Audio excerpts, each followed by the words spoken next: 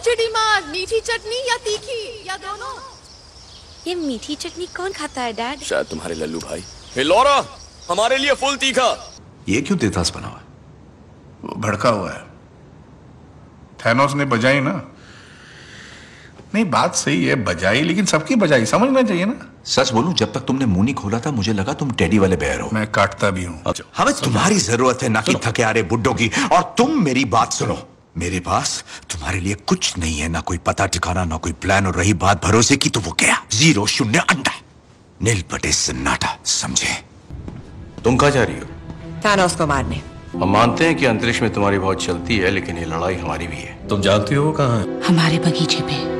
वाह इसके बाप का बगीचा भी है। तो इस बात की क्या गारंटी कि पिछली बार जो अंजाम हुआ था वो इस बार नहीं होगा? क्योंकि पिछली बार मैं यहाँ नहीं थी।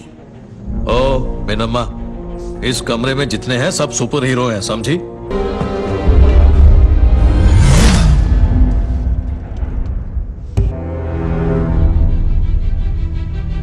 लड़की में दम है। तो भाई और बहनों तुम में से कोई है जो पहली बार ऊपर जा रहा है? क्यों?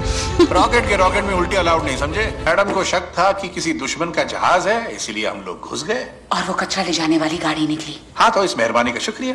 तुम उसके नज़दीक थे। और अब हम बास मार रहे हैं। कैरल क्या तुम अगले महीने मिलने आ पाओगी?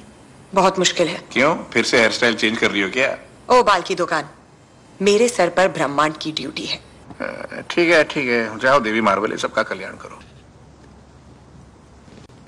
वैसे मैं टाइम पूछने आया था मगर तुम्हारी शक्ल पे ऑलरेडी बारह बजे हैं।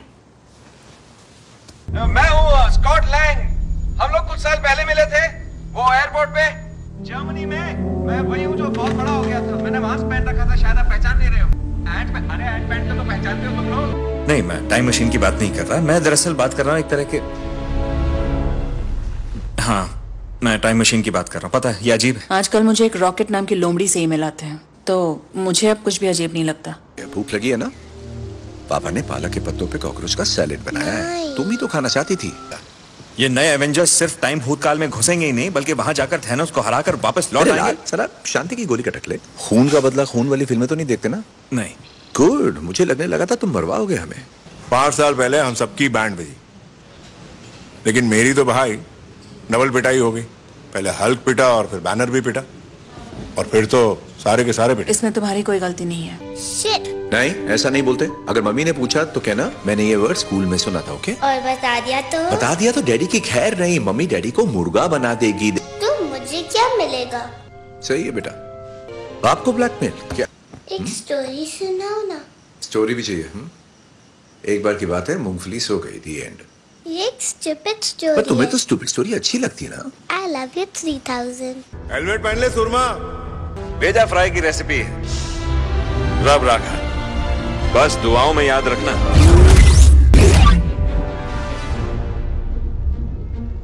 ये एक बच्चा है। ये स्कॉट है। बच्चा हो गया है। तो बड़ा हो जाएगा ना। टाइम डकैती चलो यार अब गरीबों में मिठाई बंटवाओ। किसी ने मेरी पैंट गीली कर दी। वो पता नहीं बेबी स्कॉट था या फिर बूढ़ा स्कॉट या हो सकता है वो मैं खुद ही था। शक्ल क्यों उतरी है? टाइम डकैती में पैंट गीली हो गई क्या?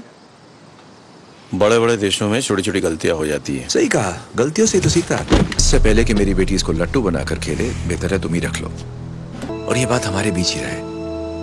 क्या है सबके लिए नहीं लाया मैं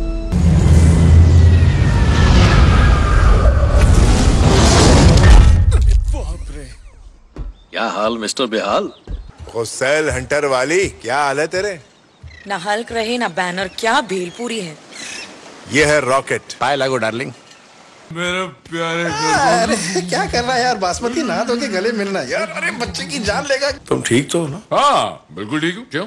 मैं मैं मैं ठीक नहीं लग रहा तुम्हें। तेरा सिक्स पैक अब फैमिली पैक बन गया है। तुम्हें लगता होगा कि तुम ये आके इस देवदास को बोलोगे कि हाउस दो जोश और ये उठ जाएगा। पर अब कोई जोश नहीं। मेरे रॉकेट में पीने के लिए बहुत कुछ है। पहले क्यों नहीं बोला?